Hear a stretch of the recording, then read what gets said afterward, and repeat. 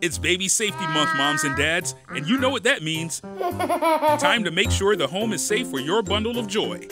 CPSC has made it easy with four life saving themes you can follow to keep your child safe. Go to cpsc.gov slash cribs to get the latest on water safety, baby sleep, cord safety, and infant slings. There are short instructional videos, posters, and a whole lot more.